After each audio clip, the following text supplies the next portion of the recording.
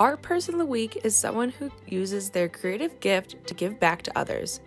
Susan Emerling uses her creative gift through making ornaments from paintings she creates and turning them into beautiful, one of a kind ornaments. She sells these ornaments in the greater West Bloomfield community in order to give back to gleaners. Susan sells these ornaments on her Gleaners page as well as in store around Keego Harbor and Sylvan Lake for $10 with 100% of the proceeds going towards her fundraiser for Gleaners. She talked to us about how these ornaments are created in order to raise money.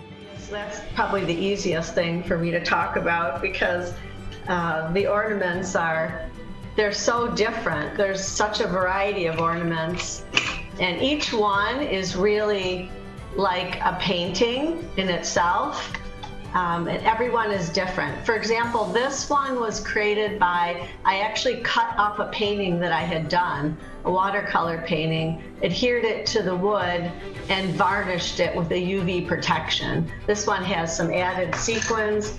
These ones are created, this is a can lid. All of them are hand signed on the back and a hand drawn H for the H project. These were created by actually I make all the paper. I take paper and I create paint. You know, I, I create like almost like paintings on paper. I make my own handmade paper, very colorful.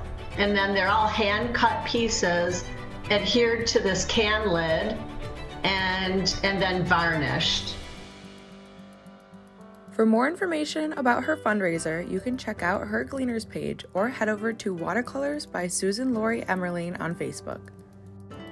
Her passion for art and caring for the hungry is why we named Susan Emerling our Person of the Week.